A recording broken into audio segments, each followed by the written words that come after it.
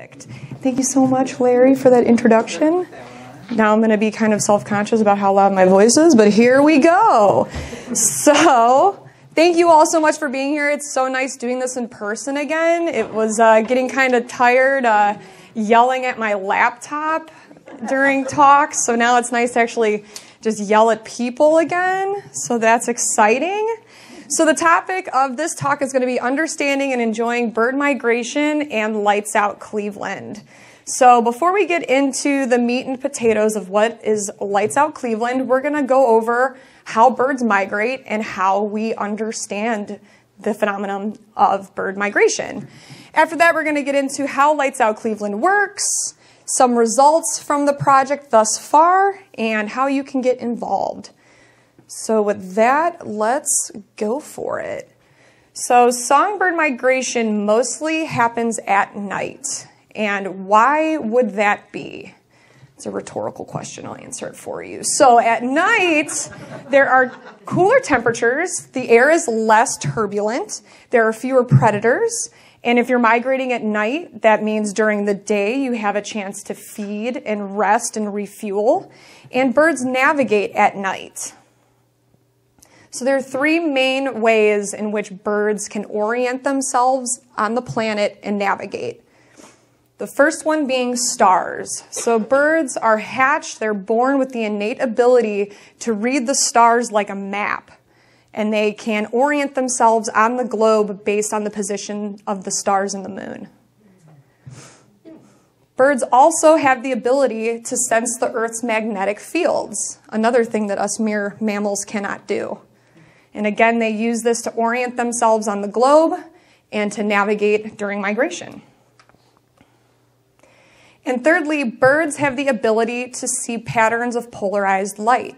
And again, that helps them orient themselves on the planet and helps them navigate. And a lot of how we understand these three phenomenon is by studying homing pigeons. And so if you know how homing pigeons work, if you take a pigeon away from where it's from, put a little note on its ankle if you feel like it, and release it, it will go right back to where it came from. And so for a long time, humans have known that birds have the ability to find themselves on the globe and navigate in a specific direction to get to a specific destination. So which one is the most important? So although all of the pieces, parts of how migration works, it's not fully understood yet, but we do know that the order in which these are listed, that is the order of importance for birds and bird migration. And how accurate is this orientation? The answer is extremely accurate. So studies using banded ruby-throated hummingbirds, a bird that I'm sure you're all very familiar with, um, have shown that these birds will show up to the exact same nectar feeders year after year. So this bird that weighs about as much as a nickel flies over the Gulf of Mexico. Oh wait, I've got a pointer. Flies over the Gulf of Mexico in a nonstop 18 to 22 hour flight, nonstop. These birds are not built for water, huge shock, so they cannot stop once they start that flight over the Gulf of Mexico. So that tiny little bird flies over the Gulf of Mexico and makes its way back to the exact same nectar feeders year after year. So this is an incredibly accurate system of navigation. So not only are they using celestial clues like the stars and the polarized light, but they also have the ability to recognize uh, topography cues, more localized cues to kind of figure out where they are. So scientists over the past 40 years have used um, NEXRAD weather Doppler surveillance data to more fully understand the movements of migrating birds. And this has really kind of opened the door into bird movement research. And so I'm going to show you some cool videos of uh, what birds look like on weather radar.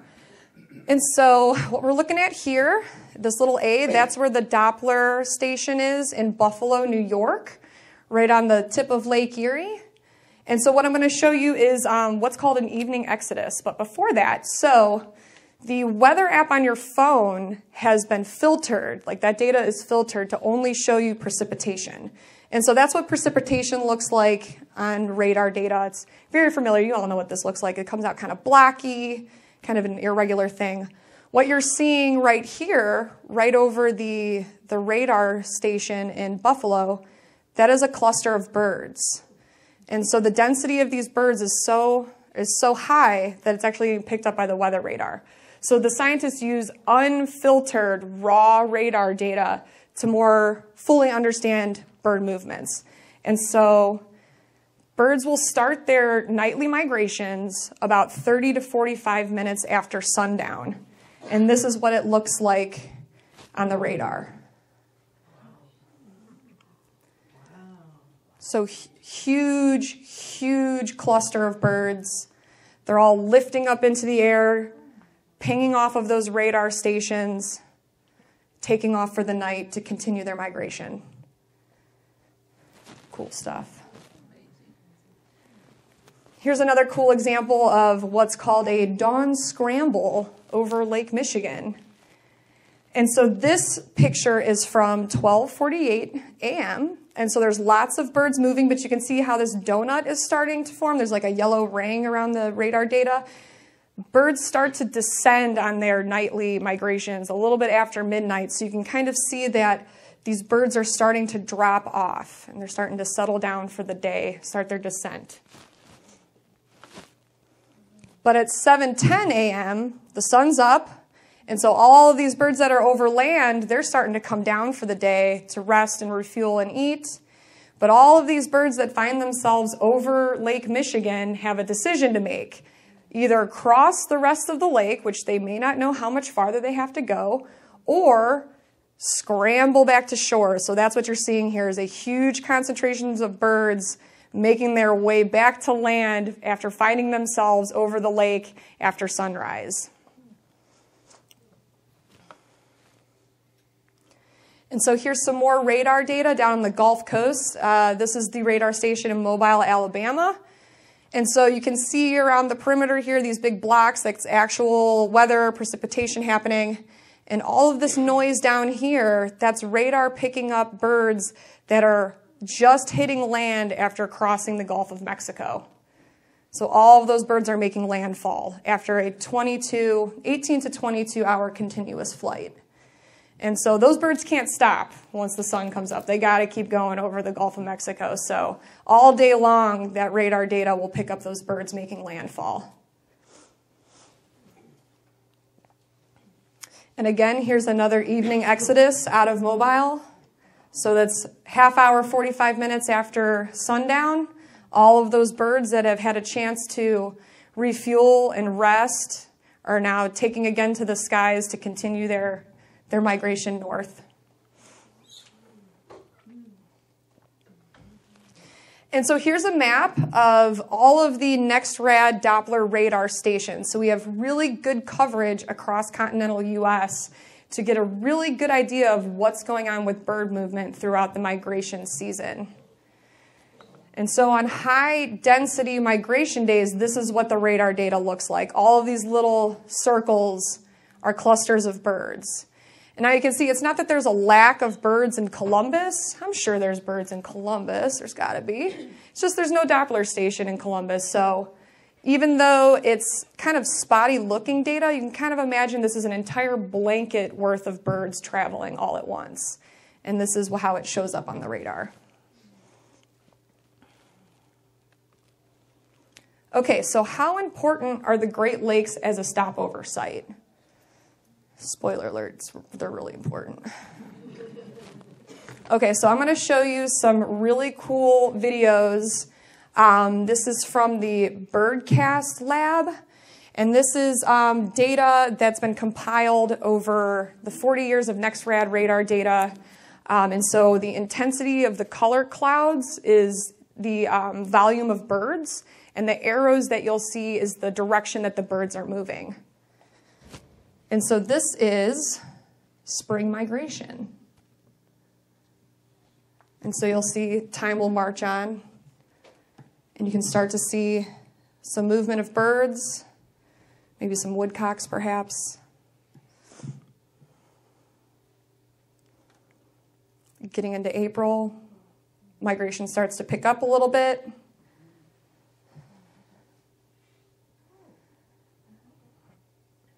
Right, now we're getting into May. End of April, early May, that's when migration really starts to pick up. All those warblers are coming back. All those sparrows are coming back. And keep your eye on the Great Lakes regions. Look at how those arrows are kind of coming right up to and over the Great Lakes region.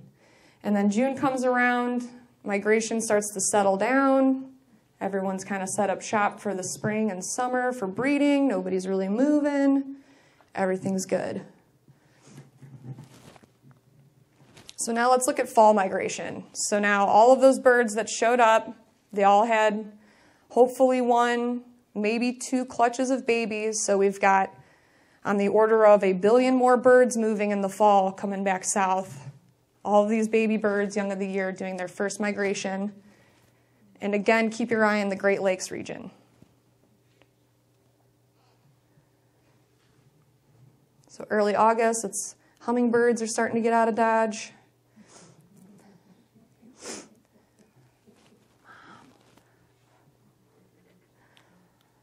All right, September starts really kicking into gear. And look at the intensity right over the Great Lakes. So you can see that the birds are utilizing the eastern U.S. flyways much more in the fall. Migration starts to peak in the end of September into October. All the sparrows are starting to move through.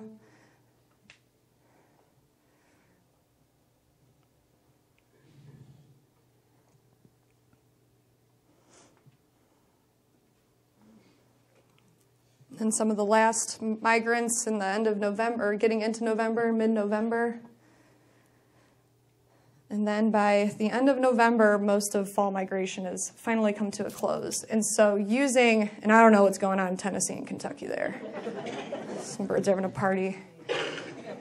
So, all of this data that I've showed you so far, this is looking at a population level. So we just know that all of the birds are moving in this sort of way. You can't really extract any specific information about one species of bird or one individual of bird using radar data. So scientists, in order to more fully understand on an individual level what's going on with bird movement, they've turned to an old technique using radio telemetry to study bird movements. And the technology around radio telemetry has gotten smaller and smaller and smaller to now you can affix a little radio tag onto a beautiful little warbler like this black-throated blue warbler. And it weighs so little that it doesn't impede the bird's flight, doesn't give it any extra burden, just a tiny little backpack, and that's feeding information to these Motus towers. So Motus is Latin for movement, which I found out about four days ago. Um, and so every time this bird with a little radio tag flies near this Motus tower, it will ping that tower and it will either save that data right there at the tower or it'll be linked up to someone's email address. And so every time a bird flies over, ping, you get an email and it tells you what bird just flew over your Motus tower. And so the use of radio telemetry and Motus research has really opened the door even wider into understanding bird migration and bird movements. And so here's a map as of a few days ago of where all of the Motus towers are in the, uh, in the whole world. And you can see on the eastern side of the United States, there's a lot, a lot, a lot of Motus towers.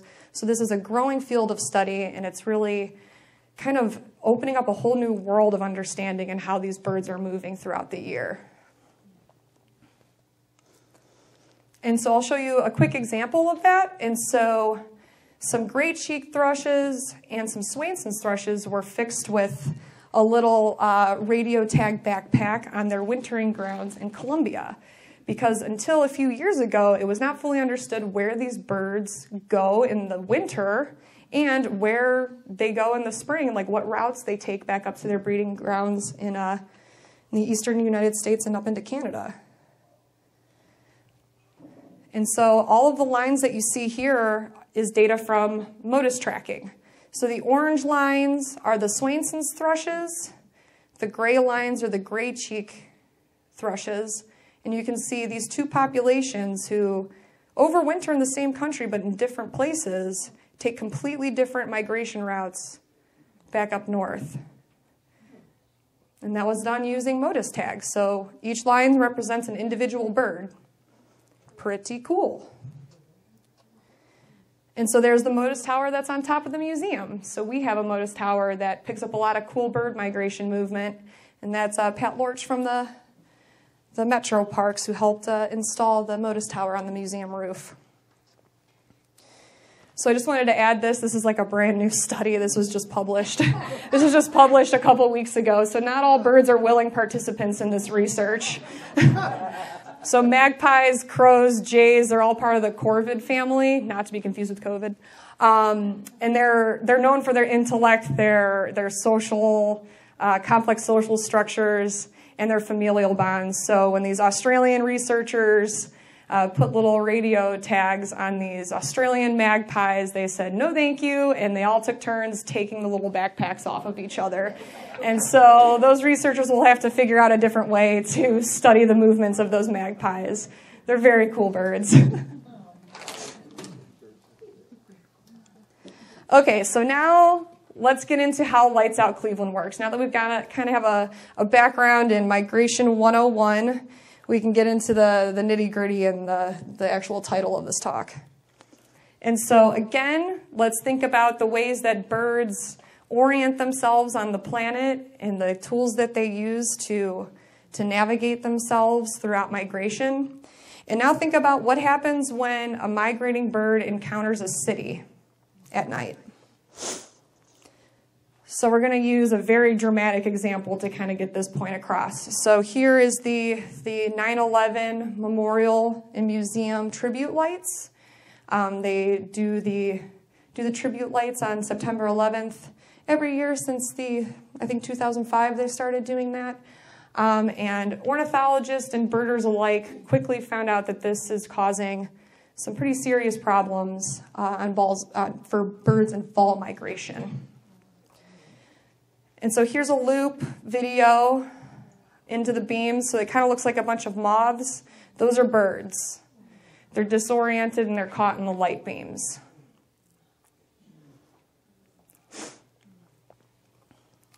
Here's some more pictures for, from inside the light beams. So Dr. Andrew Farnsworth, he is a senior scientist at Cornell Lab of Ornithology.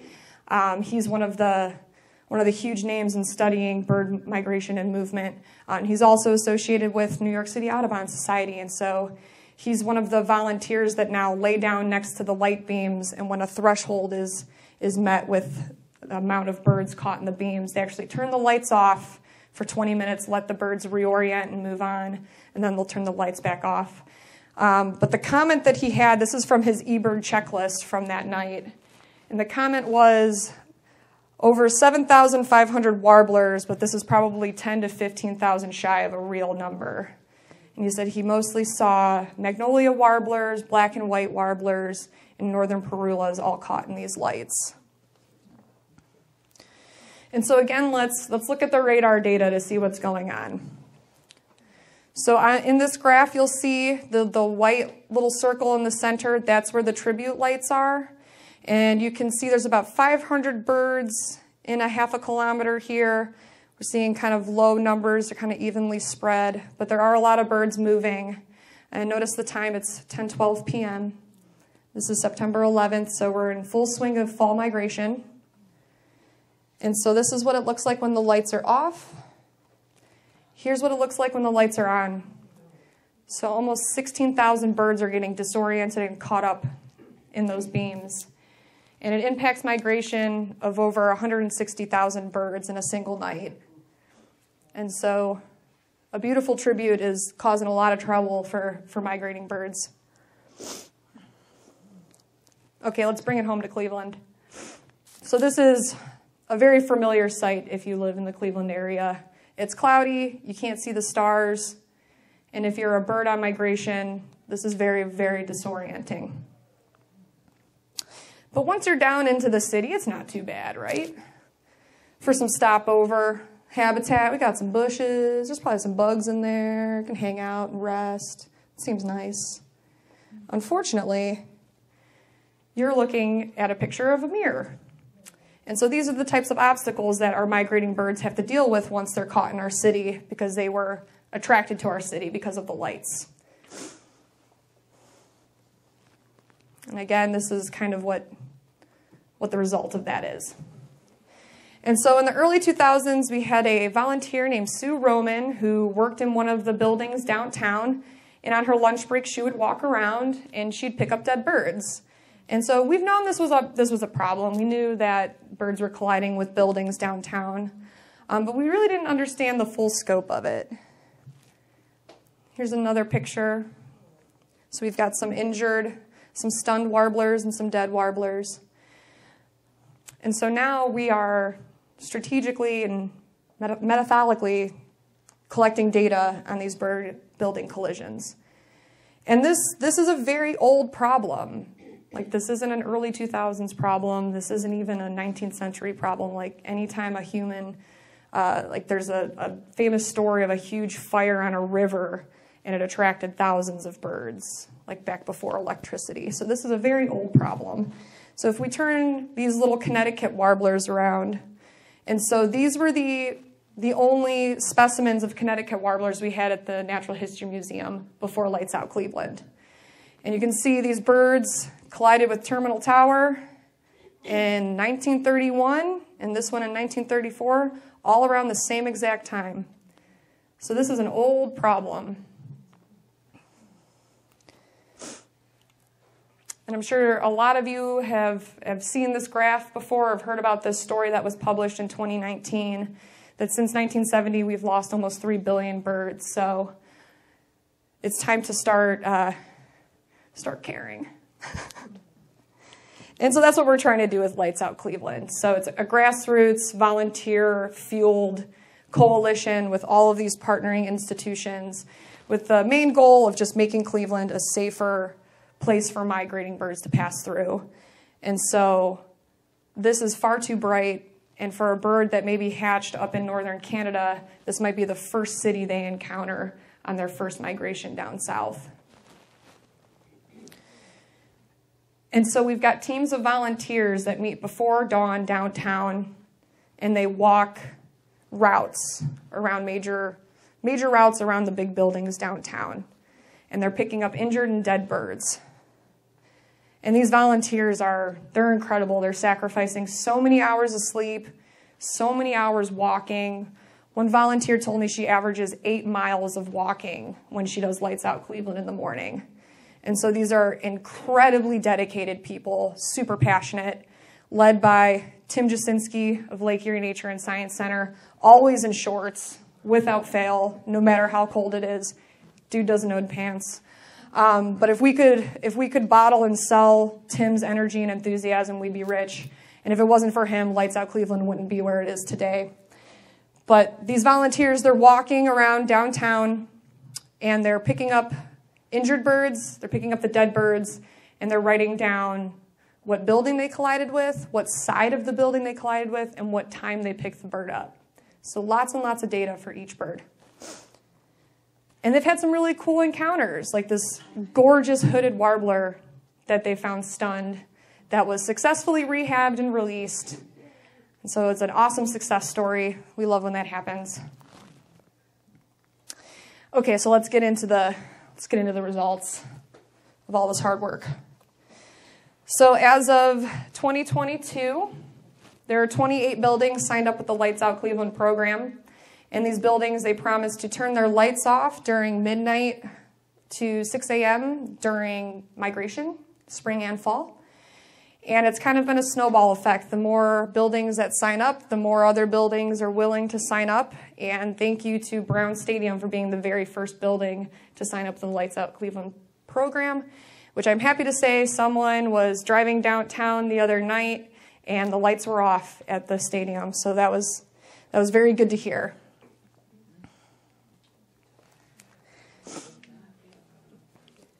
And here's another really cool success story. So, historically, American woodcocks have fared very poorly in rehab. Um, and so with Lights Out Cleveland, we've had opportunities to improve our rehabilitation techniques. And the main problem with woodcocks in rehab is they had issues getting them to eat, and they had issues with them hurting themselves even more once they're in rehab. And so Tim and his team at Lake Erie Nature and Science Center have had plenty of opportunities to work with woodcock. In 2019 alone, 132 of them collided with downtown buildings. And so Tim and his team figured out that these woodcocks would not just take a worm from a dish. They had to actually bury worms in a dog food bowl, fill the enclosure with dirt, put the worms in the dog food bowl, and the woodcocks would feed themselves. And then further just make the, the enclosure look more natural by adding a bunch of dirt and leaves and presenting the food under dirt. And so we can finally get those birds to eat. One of the problems that they had is anytime you'd walk past an enclosure with a woodcock in it, it would scare it and it would shoot straight up like woodcocks do. And so they would get further head injuries in rehab. So Tim and his team figured out they put a cushion on the roof and cover all the sides. And what do you know? They've increased their survival rate of woodcock from 35% to 70%. And we're trying to get Tim to publish this in a, in a wildlife rehab journal just to spread the word. Get more woodcocks out of rehab. Okay, let's talk numbers. And so Lights Out started in fall of 2017. We don't need to talk about 2020. You can see there, there are still a couple birds that managed to trickle in even with total lockdown happening. But as you can see, just looking at these patterns alone, there's always a huge push of birds in the fall, way more than spring. And unfortunately, for every live bird, there's two or three dead ones. But come the end of spring 2022, we're going to have over 12,000 birds picked up by Lights Out Cleveland volunteers. That's a lot of buds. And so here's a picture of what a very busy day at the rehab looks at. So all those boxes are filled with a bird getting a little TLC, getting some medicine, getting some rest and some food, and hopefully get released back out to continue their, their journey north or south. But sometimes we had really bad days. So I'm 26th of October 2017, which that date is ingrained in mine and my volunteers' minds because we've had to write this date so many times on specimens. There's over 255 collisions in just that one day. Very bad day for birds, and most of these birds are white throated sparrows.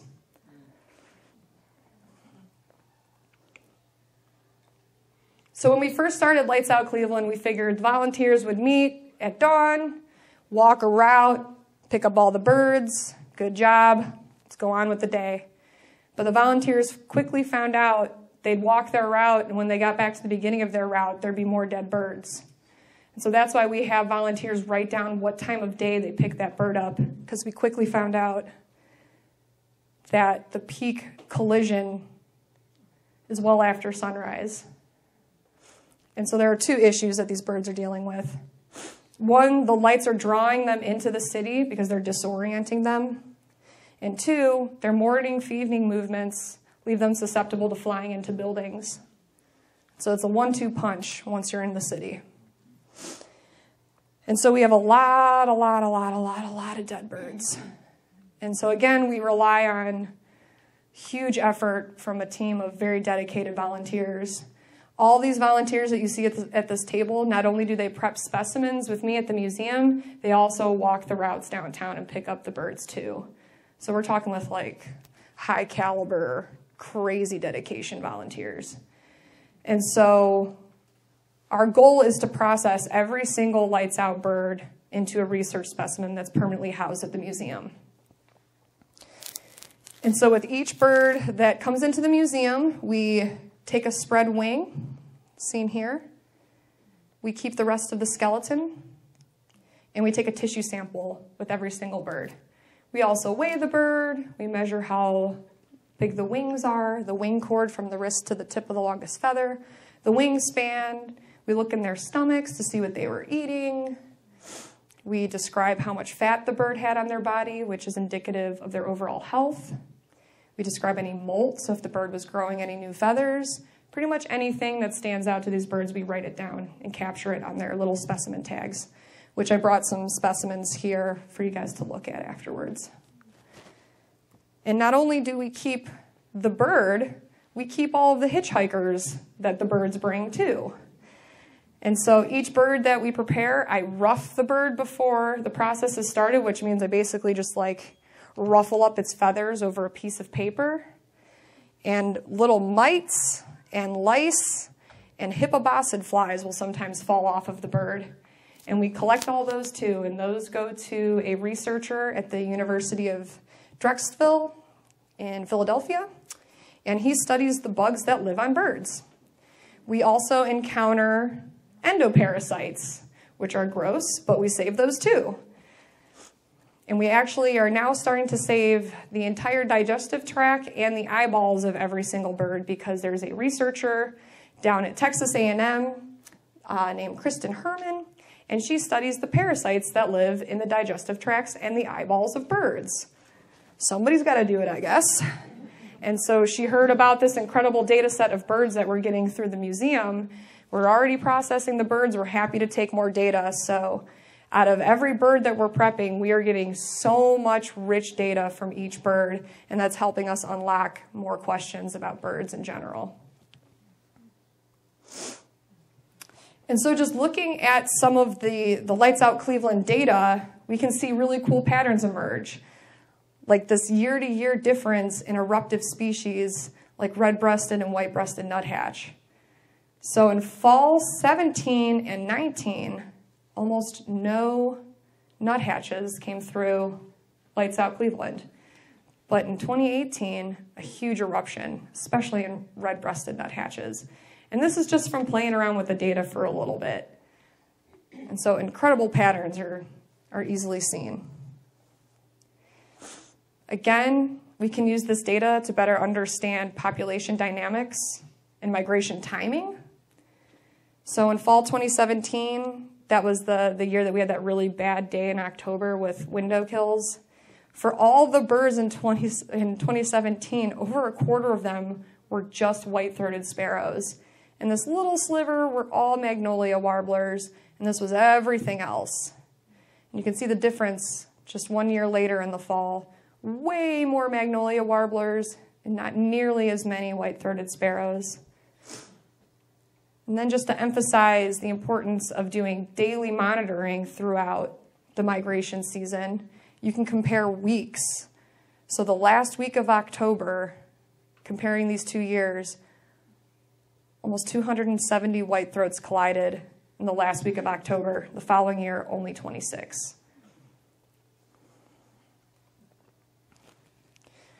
But there was something else that was becoming more and more apparent to us. How come some super common species of birds, like white-throated sparrows, collided all the time, but other super common species, like red-eyed vireo, almost never collide? Like, why is that? And so some of my colleagues had a hunch and published a paper in 2020 exploring that exact question. So what you're seeing in this graph is the collision data against the observation data through eBird records. And so what this graph is showing is based on how often this bird is being seen by birders, how proportional is that to how often we're finding these birds colliding with buildings?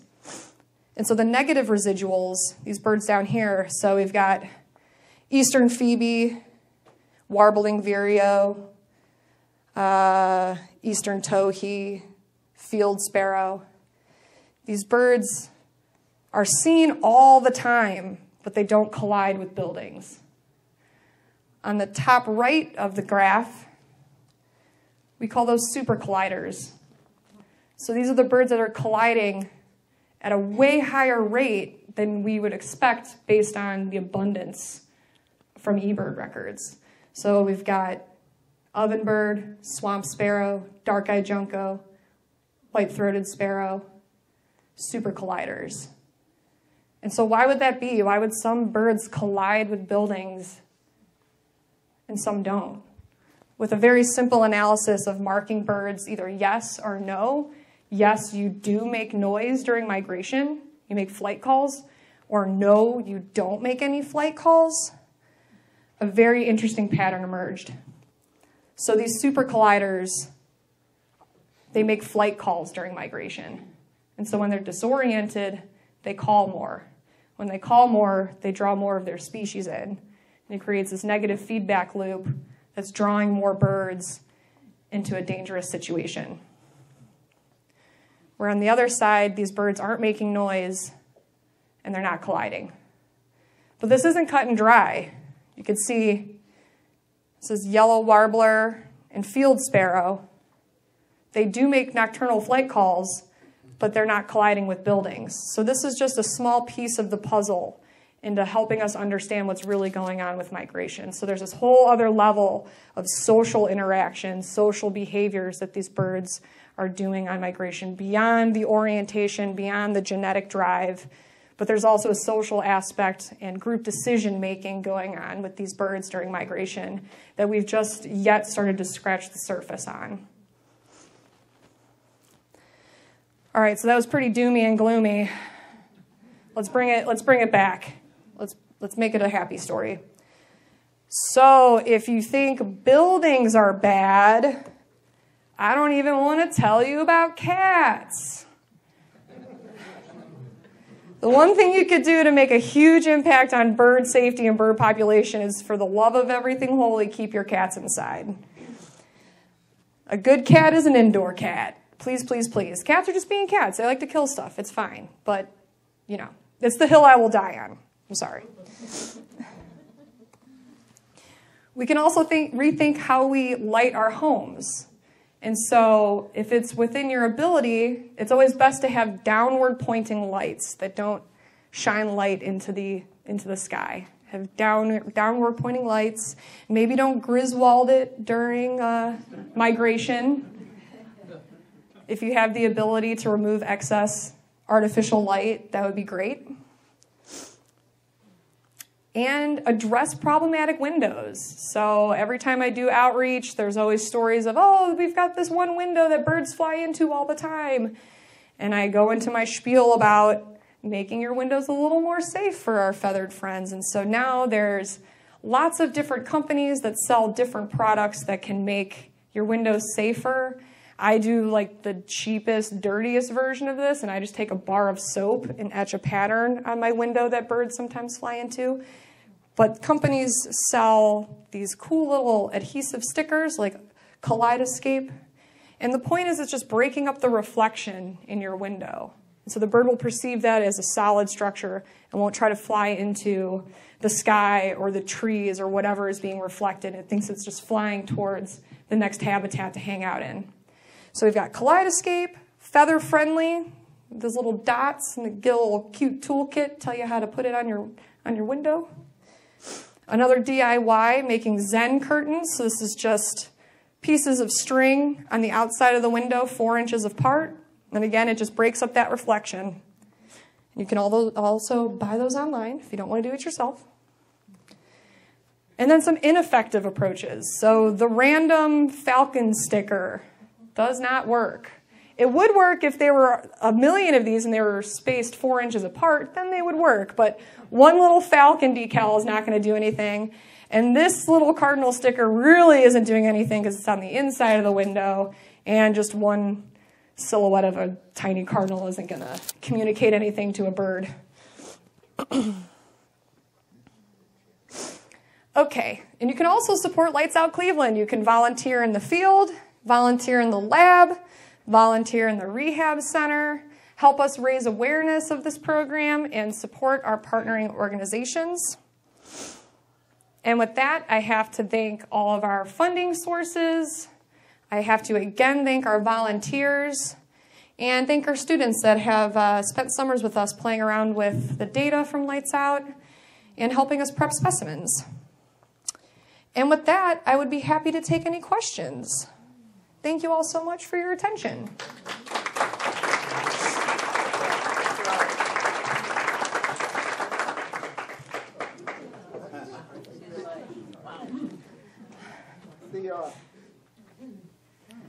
Thank you all for hanging out so late. That went on for a long time.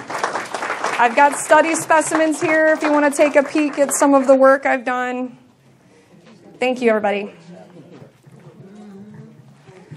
Thank you very much, Courtney. Thank you for your work and your research, and thanks to all your volunteers who make this possible.